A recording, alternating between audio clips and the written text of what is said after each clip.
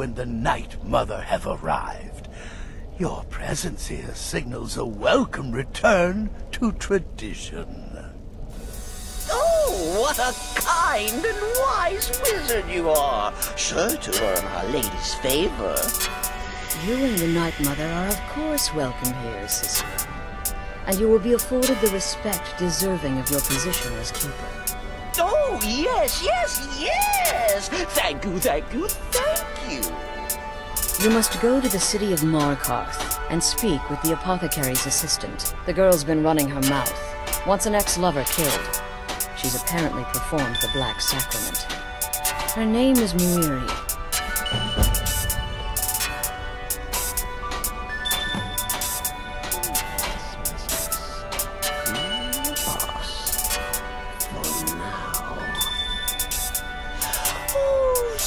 Cicero is just the keeper. I keep I look after our matron, you see, the Night Mother. I keep her clean and protected and happy. But I am not the listener. Oh no, there is no listener. Not yet. But someday, someday, someday, I pray that one will come to hear her.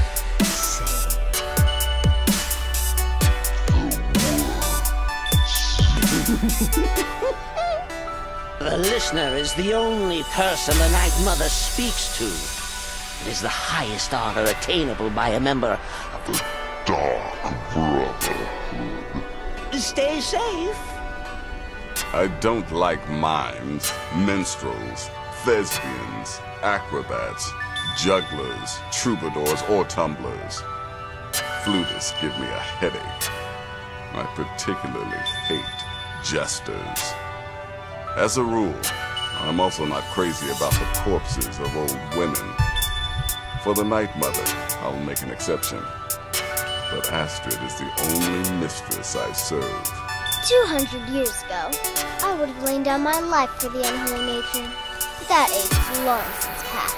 Astrid is my matron now. The witless fool and his pet corpse? Take a guess. You go speak with Muiri.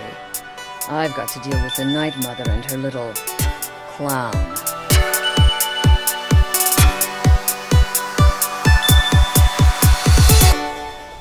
Why are you looking at me like that?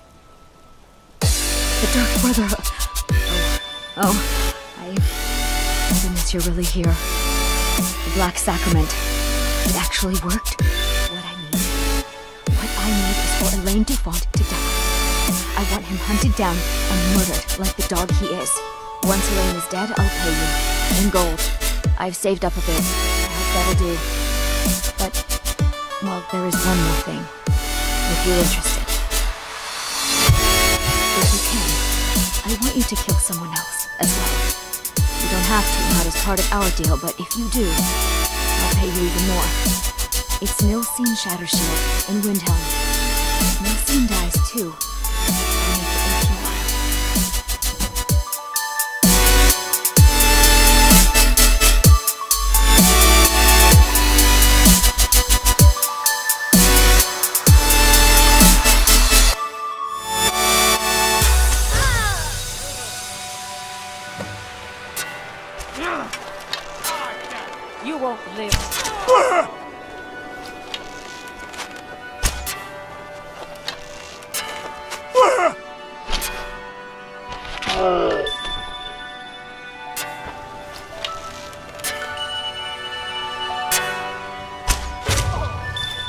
was that?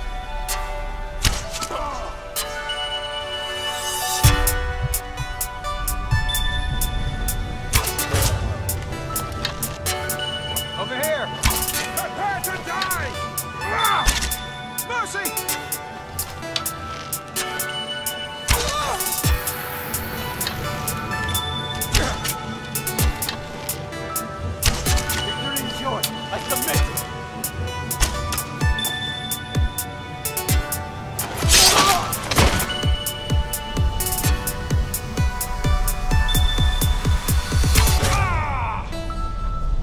Thank you. That bastard got exactly what he deserved. And I heard about Nilsine. You have more than fulfilled your part of the bargain. Please, take this. As payment, and a symbol of my affection. I'll never forget you.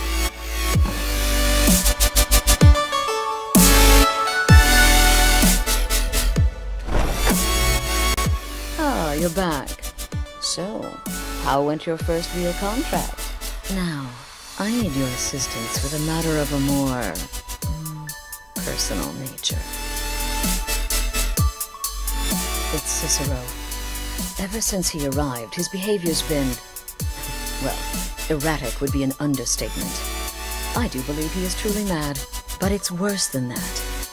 He's taken to locking himself in the Night Mother's chamber and talking to someone in hushed but frantic tones.